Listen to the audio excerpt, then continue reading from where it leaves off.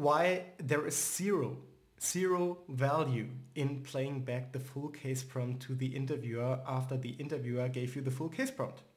So this is a classic, right? A real classic because many candidates and applicants are, are doing that and they are just wasting time. Because there is just zero value playing back the full case prompt uh, to the interviewer after it was laid out to you. Um, first of all, the interviewer has seen this or like has given this case prompt already a couple of hundred times in many instances, so they are very well aware of what is in there. And second, you will not be evaluated by your skill to listen and note down the things the interviewer told you. What you should do instead is making sure to use that opportunity to ask questions in terms of was there something unclear to you, right? Was there something maybe that you haven't heard?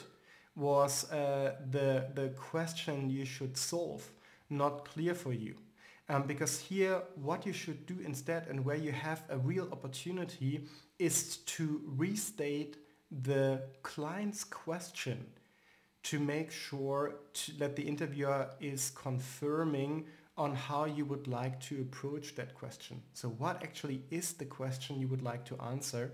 You have the, the one and only opportunity in the case to naturally ask back that question to the interviewer straight after the case prompt was given. So in case the question is not crystal clear to you, use that opportunity, restate that question in the way you would answer it and get alignment with the interviewer. So there is a lot of value add if you do that. Um, and also, as I said, make sure you're completely uh, clear on what was said. There is no need to play it all back, right? But if there is something unclear to you, just quickly ask that and then co really continue and ask the remaining questions that are necessary in order for you to get started, for example, on the client's objective, um, and also uh, potential quantifications of it and also um, timelines and, and business model. Um, and uh, yeah just just make sure to also not ask too many questions here.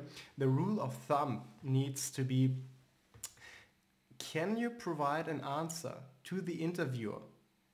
If the interviewer would ask you why would you need to have this information at this point in time? And if your answer is actually out of curiosity it's not a good answer, right? Because many information that might or might not be relevant, um, you don't need at the beginning to structure the problem um, at hand on how you will approach it in order uh, to solve it for the client. But you can also ask these questions later on if they get relevant based on the discussion you're having with the interviewer, right? So please don't play back the full case prompt to the interviewer there is zero value in doing that. And um, yeah, just don't do it.